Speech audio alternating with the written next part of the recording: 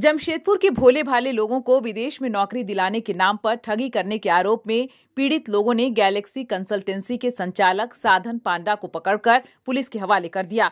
साधन के कार्यालय से तेरह पासपोर्ट भी बरामद किए गए हैं।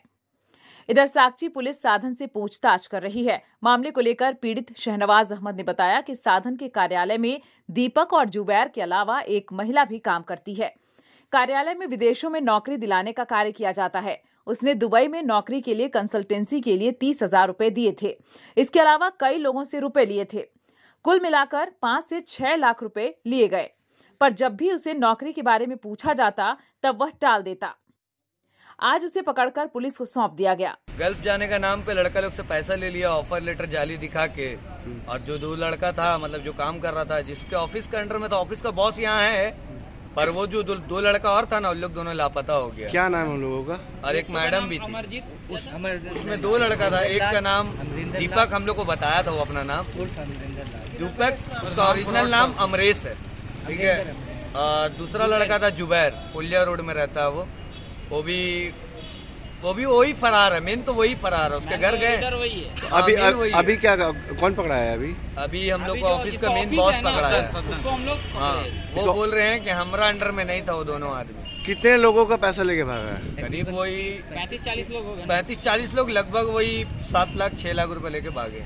इधर साधन ने बताया कि उसने दीपक और जुबैर को अपने कार्यालय में जगह दी थी। उन्होंने ही जॉब दिलाने के लिए रुपए लिए हैं। फ़िलहाल वो फरार चल रहा है। पुलिस मामले की जाँच कर रही है। गैलेक्सी कंसल्टेंसी नामक एक ऑफ़िस है, जहाँ पर पासपोर्ट वगैरह बनाया जाता है अवैध रूप से। और वहाँ पर कई लोगों का पैसा लेके वो पासपोर्ट बनाया है, विदेश भेजने के नाम से। तो आम पब्लिक के द्वारा ही उसे पकड़ा गया है। आम पकड़ के पुलिस को सौंपा गया है कि, सर, ये साधु शरण पांडा नामक जो व्यक्ति हैं और उनके, वो दो साथी हैं, दीपक और एक हैं, उनके साथी कोई हैं। तो वे इन लोगों के साथ मिल के दूसरे का पासपोर्ट बनाते हैं जो मतलब इलीगल पासपोर्ट बनाते हैं। पासपोर्ट कोई सही पासपोर्ट नहीं है। अभी उसी का हम लोग जाँच कर रहे हैं। जैसे होता है आप लोगों को फिर आगे बताएगा विदेश भेजने के नाम पर पैसा का भी ठगी किया गया है?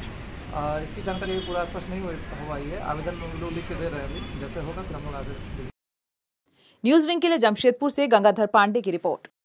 Tufcon XT600 HCR TMT rebar अब इंडिया बनेगा एक्स्ट्रा टफ